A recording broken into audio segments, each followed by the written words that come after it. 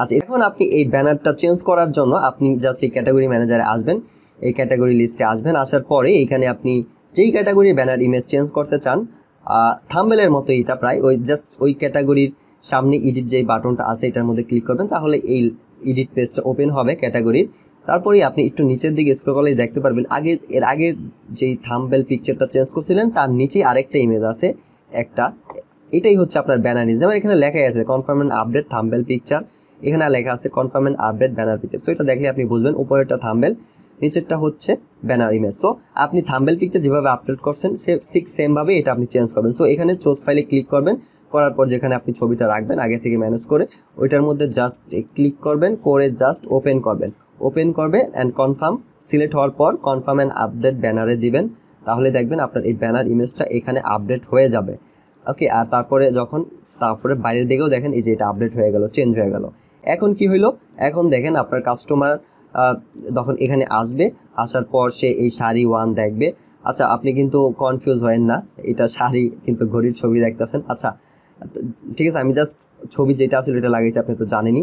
So just এই শাড়ির মধ্যে আপনার কাস্টমার ক্লিক করবে, তারপরে দেখেন সে এই পেজে চলে আসবে এবং এইখানে সে এই এই রিলেটেড এই, এটার ব্যানার দেখবে এবং এটার আন্ডারে যে প্রোডাক্টগুলা এটার আন্ডারে আরও যে সাব ক্যাটাগরি আছে, ওইগুলোও দেখবে দেন হচ্ছে নিচে প্রোডাক্টগুলো শো হবে। তো এটার আন্ডারে দুইটা সাব ক্যাটাগরি আছে, ওইটা দেখাচ্ছে বাট এটার আন্ডারে এখনও কোনো প্রোডাক্ট নেই এই জন্য দেখাচ্ছে না।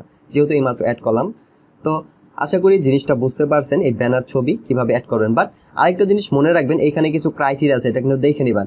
দেখে নেবেন যেটা হচ্ছে, আপনার এই ছবিটার সাইজ কিন্তু অবশ্যই ওয়াইড যেটা আছে ওয়াইড আপনার বারোশো পিক্সেল হইতে হইব। আর হচ্ছে হাইটটা আপনার তিনশো পিক্সেল হতে হবে এই ব্যানারের ক্যাটাগরির ব্যানারের সাইজটা এটা আপনি মনে রাখবেন, এখানে লেখা আছে ছোট্ট করে, খেয়াল করে দেখে নেবেন। আর এটার ওয়াইড হাইট বারোশো বাই তিনশো হইতে হবে, এটা তো বুঝলেন। আর হচ্ছে সাইজ বা কিলো বাইট একশো কেবির নিচে হইতে হবে। একশো কেবির বেশি যদি হয়, তখনও আপনি এটা আপলোড করতে পারবেন না। যদি একশো কেবির নিচে হয়, তখন আপনি আপলোড করতে পারবেন আর এটা একশো কেবির একশো কেবির নিচেই হবে, আপনি যখন ইয়ে করবেন। বাট বাইচান্স যদি হয়ে যায়, আপনি অনেক টুলস আছে অনলাইনে ওইগুলো দিয়ে কম্প্রেস করে এটা মিনিমাইজ করে নেবেন।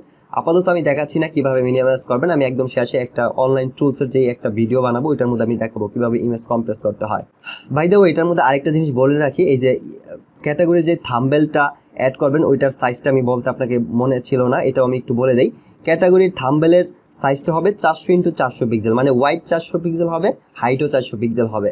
আর এটার যেই সাইজ বা কিলোবাইটটা হবে, সেটা হইতে হবে আপনার পঞ্চাশ কেবির নিচে। তাহলে আপনি জাস্ট সিম্পলি আপলোড করতে পারবেন। এটা মনে রাখবেন, এই ক্রাইটেরিয়ার মধ্যে যাতে থাকে ছবিগুলো।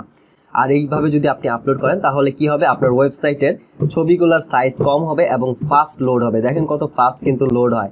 সো আপনি যদি যত কম সাইজের ছবি দিতে পারবেন, অত ফাস্ট আপনার ওয়েবসাইট লোড হবে অপটিমাইজ হবে স্পিড অপটিমাইজ সো স্পিড অপটিমাইজের অনেকগুলা অপশনের মধ্যে এইটা একটা, যে যত কমপ্রেস যত কম সাইজের ছবি আপনি আপলোড করতে পারেন, এটা খেয়াল রাখবেন।